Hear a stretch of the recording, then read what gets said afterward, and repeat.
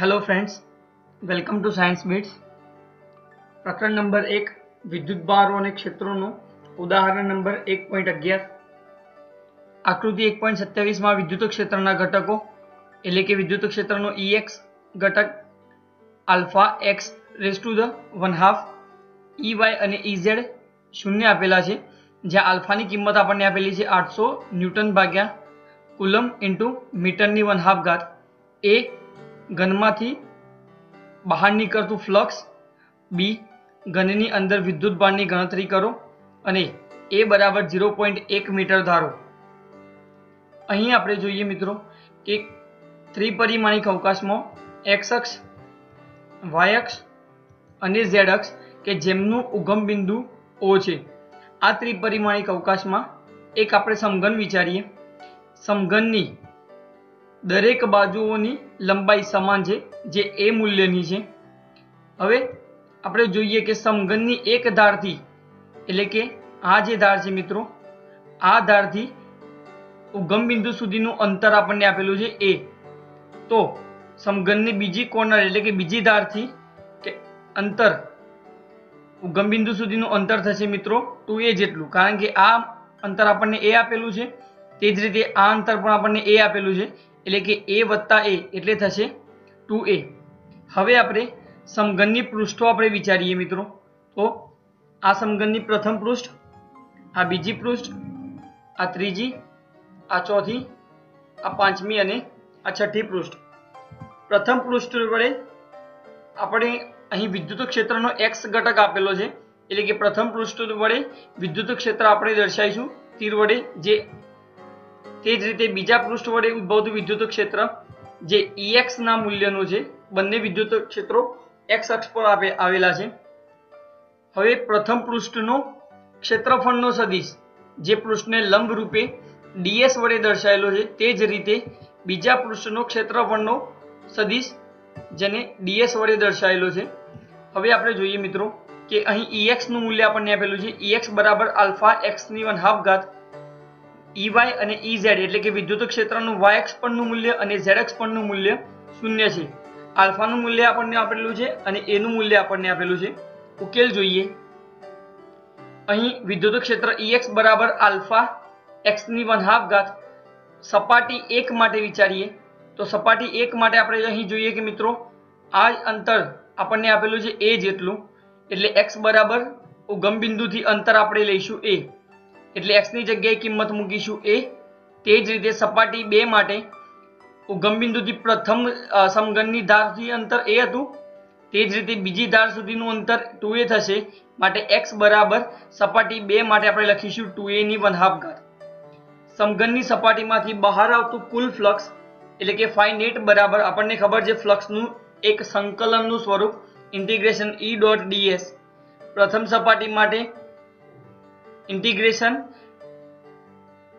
ઈ dot DS બીજી સપાટી માટે ઇન્ટિગ્રેશન ઈ ડોટ ડીએસ તે જ રીતે ત્રીજી સપાટી માટે, તે જ રીતે છઠ્ઠી સપાટી માટે ઈ ડોટ ડીએસ હવે ઈ ડોટ ડીએસ એટલે શું? તો E DA E DS cos cos theta થશે.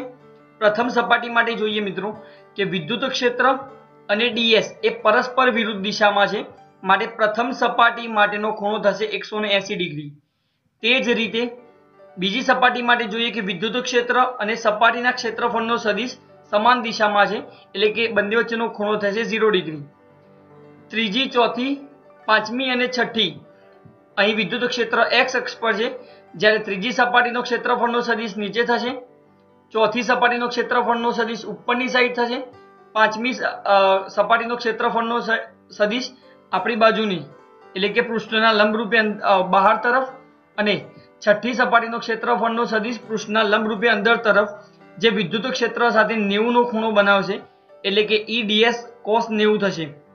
હવે આપણને ખબર છે કે કોસ એકસો એંસીની કિંમત થશે માઇનસ વન એટલે ઇવનને આપણે કોમન લઈએ. ઇન્ટિગ્રેશન પહેલી સપાટી માટેનું પૃષ્ઠ ક્ષેત્રફળનું સંકલન. તે જ રીતે ઈ ને આપણે કોમન લઈશું કોસ ઝીરોની કિંમત થશે એક. બીજી સપાટીનું પૃષ્ઠ ક્ષેત્રફળનું સંકલન. ત્રીજી, ચોથી, પાંચમી અને છઠ્ઠી.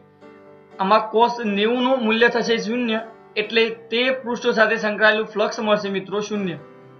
સાદુરૂપ આપીએ. અહીં એક બાજુની લંબાઈ આપણને એ આપેલી છે, તો એક ચોરસ પૃષ્ઠ- પૃષ્ઠનું ક્ષેત્રફળ થશે એ સ્ક્વેર માટે minus E one into A square plus E two into A square ઇવનની કિંમત મૂકીશું. સપાટી એક માટે ઈ ટુની કિંમત મૂકીશું. સપાટી બે માટે આનું આપણે સાદુરૂપ આવીએ મિત્રો. તો ઇવનની કિંમત મૂકીશું માઇનસ આલ્ફા એની વન હાફ ઘાત into A square as it is two કિંમત મૂકીશું. બેની વન હાફ ઘાત આલ્ફા એની વન હાફ ઘાત into A square as it is હવે અહીં આપણે ખબર છે કે મિત્રો આધાર સરખો હોય તો ઘાતનો સરવારો અથવા તો બાદબાકી થશે. જેનો આપણે ગુણાકાર કરતા એની ફાઈવ બાય ટુ ઘાત થશે. તે જ રીતે બેની વન હાફ ઘાત એટલે કે વર્ગમૂળમાં બે લખી શકીએ. આલ્ફા એની ફાઈવ બાય ટુ ઘાત. હવે આ બંનેમાંથી આપણને ખબર છે કે મિત્રો એની ફાઈવ બાય ટુ ઘાત અને આલ્ફા આપણે કોમન લઈએ. તો આ જગ્યાએ વધશે માઇનસ વન અને આ જગ્યાએ વધશે અંડર રૂટ ટુ આ સ્ટેપને આપણે અંડરરૂટ ટુ માઇનસ વન પણ લખી શકીએ. અંડર ટુની કિંમત થશે એક પોઈન્ટ એકતાલીસ બેતાલીસ માઇનસ વન આનું આપણે સાદુરૂપ આપીએ તો આપણા જવાબમાં આવશે ઝીરો પોઈન્ટ એકતાલીસ બેતાલીસ. અહીં એ બરાબર આપણને કિંમત આપેલી છે ઝીરો પોઈન્ટ એક મીટર લેવાની છે. આલ્ફાની કિંમત આપણને આપેલી છે આઠસો. આ બધી જ કિંમતો આપણે મૂકીએ મિત્રો. અહીં એક સ્ટેપ અગત્યનું છે કે ઝીરો પોઈન્ટ એકની પાંચ ભાગ્યા બે ઘાત. ને આપણે આ રીતના પણ લખી શકીએ કે ઝીરો પોઈન્ટ એકની પાંચ ઘાત ગુણ્યા ઝીરો પોઈન્ટ એકની વન હાફ ઘાત. ઝીરો પોઈન્ટ એકની પાંચ ઘાત આપણે કરીશું મિત્રો કેલ્ક્યુલેટરમાં અને તે જ રીતે જે એ જવાબ આવે એનો આપણે વર્ગમૂળ શોધીશું.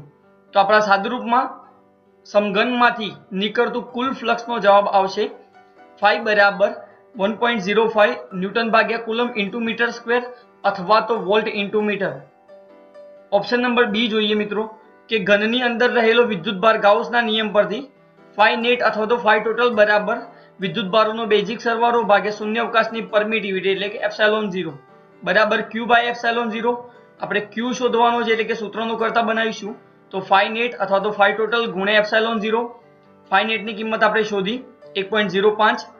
એપ્સાલોન ઝીરોની કિંમત આપણે જાણીએ છીએ. આઠ પોઈન્ટ પંચ્યાસી ગુણ્યા દસની માઇનસ બાર ઘાત.